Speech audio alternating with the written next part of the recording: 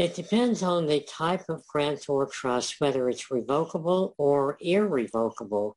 In an irrevocable grantor trust, uh, the beneficiaries cannot be changed.